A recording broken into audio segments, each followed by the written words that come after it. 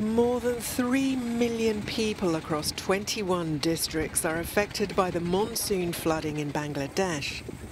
They've been left marooned with lost crops and livelihoods since the 23rd of July. Meanwhile, more than 7.5 million people across the country are still at risk of flooding. That's according to forecasts by the National Need Assessment Working Group.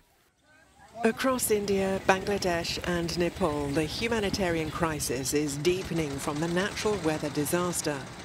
For those who've lost their homes to rising seas and storms, 20 housing blocks have been built to provide shelter for some of the growing numbers of homeless in Bangladesh.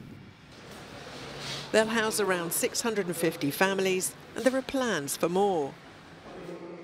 The United Nations has identified the country as among the most vulnerable to a warming planet.